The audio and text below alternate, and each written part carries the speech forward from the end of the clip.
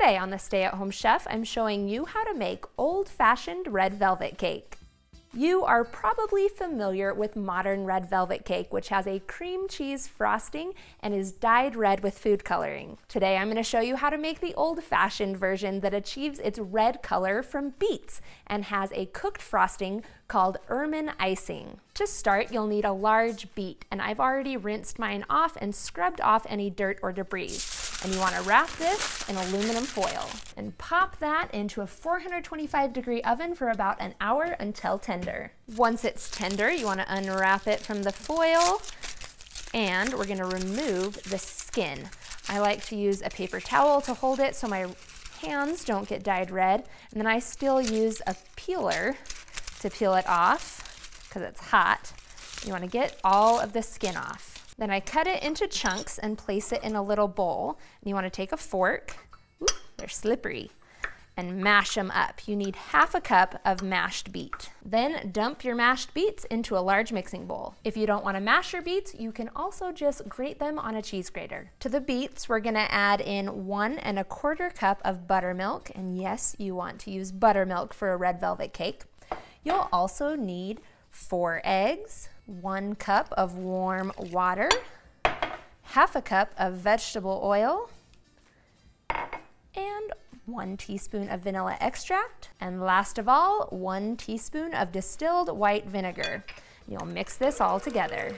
Already a bright pink color, and we haven't used any food coloring. Beets will do that to you.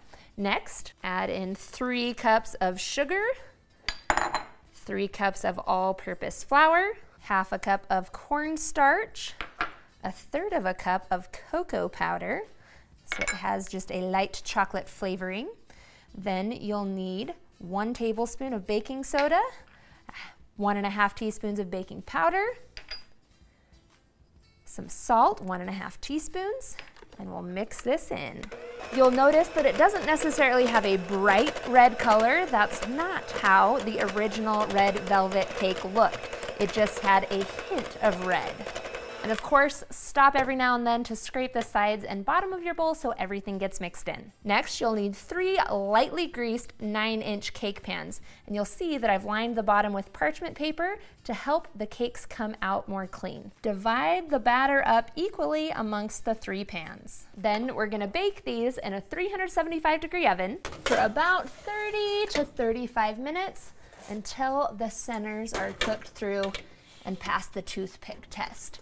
I just spread mine out close the door. Now while the cakes are baking, you'll want to start on your ermine icing. Place a saucepan on the stove over a nice medium-low heat and add in one cup of sugar and four and a half tablespoons, so just over a quarter cup, of all-purpose flour. You're gonna whisk this together and kind of let the flour toast for a couple minutes. After a couple minutes, slowly start adding in a cup of milk.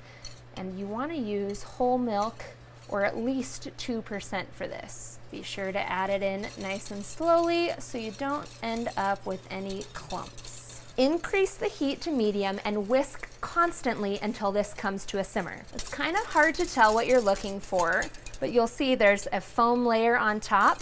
You're gonna wait until that disappears. After a few minutes, the foam on top will disappear and you'll be left with a pudding-like consistency. And then immediately transfer this all to a bowl. And then to prevent a film from forming on top while it cools, you'll take a piece of plastic wrap and place it directly on the top of the mixture so that it's touching it. Place your bowl in the fridge for about an hour to cool until you're ready to make the rest of your frosting when your cakes are out of the oven and completely cooled. When you are ready to make your frosting, you'll need a whole cup or two sticks of softened butter, and preferably that would be unsalted. And you wanna whip this for two to three minutes until it's light and fluffy. You wanna whip it, whip it good.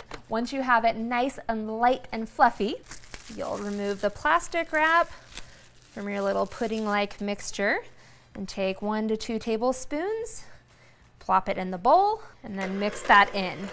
You wanna keep on doing that, adding in another spoonful until you've mixed your entire milk mixture in with the butter. Honestly, this is a slow process and requires a little bit of patience. So just keep going and beat in as much air as possible to make this icing nice and fluffy. Once you have that all mixed in, add in half a teaspoon of vanilla extract and just a pinch of salt Mix that in and you are done. Once your cakes are completely cooled, you'll be ready to assemble and frost your cake. When it comes to red velvet cake, I like to leave my edges bare on the cake on the outside so that you can see that beautiful red color. But if you would like to frost your entire cake, you'll probably want to double this icing recipe. So keep that in mind when you're making the recipe.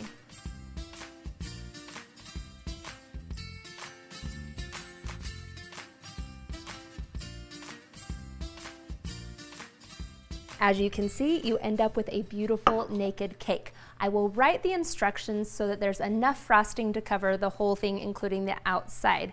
However, if you want to do it like me, follow the video and have what is written in the recipe.